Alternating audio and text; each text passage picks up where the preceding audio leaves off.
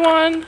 462 days to go until the cruise. I thank my God upon every remembrance of you, always in every prayer of mine for you for your fellowship in the gospel from the first day until now. Philippians 1 3 5. About the Bible verse.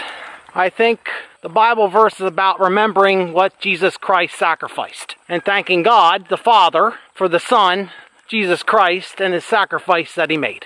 Because it says about the first day until now. And for all of you that might not know, Jesus Christ paid the price on a cross for sins.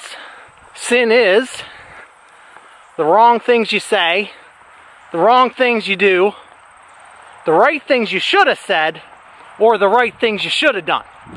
All you have to do is watch the news and know we're not perfect. So for there to be justice, somebody had to pay a price for that. And as Christians, we believe that person was Jesus Christ. No, we all imperfect, but God said, I love you this much. See you guys in the next clip. 461 days to go. Stacey's getting some. Are you?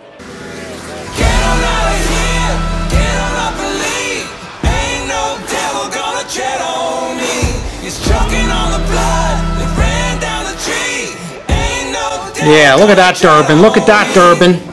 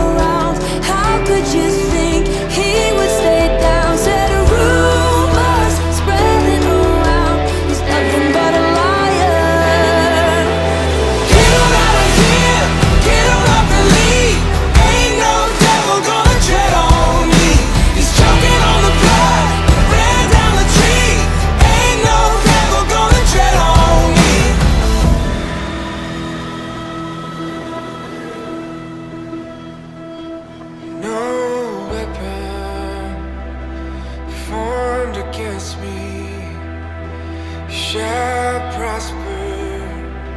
Don't tread on me. Hi everyone. Doing my cardio. I'm up to 17.8 time, 18 time. I'm going for 20. I gotta catch my breath after all of that. After being uh, in cardio for 20 minutes. After she put in a full session of weights. Yeah, full session of weights too. I am very proud of my wife today. this is the first time she actually did the whole weight workout along with cardio session to really get her metabolism fired up and her and uh, her uh, you know get those calories burning. There is no magic pill. You got to put in the work. And like my friend Ollie from Legion Fitness uh, reminded me this week, we have to hold ourselves accountable. So that means when you're not at the gym, you gotta you gotta be eating right.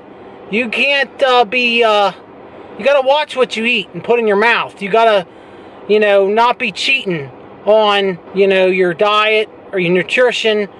With that being said, my wife confessed to me something that she needs your guys' help with. Yeah. So she could use your encouragement down in the comments section.